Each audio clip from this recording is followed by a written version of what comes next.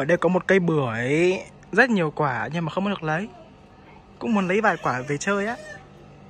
Chắc là bưởi ở đây ngon lắm.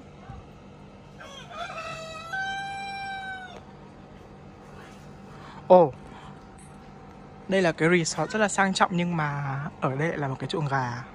Đứa nào hư là cho chuồng gà ngồi nhá. Ôi, nó gáy kìa. Đúng mà cứu tuổi thơ.